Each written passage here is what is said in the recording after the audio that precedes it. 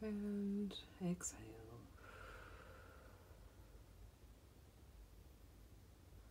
One final one.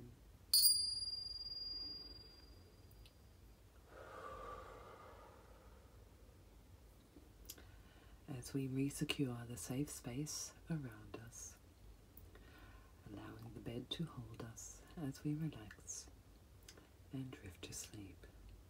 Sweet dreams.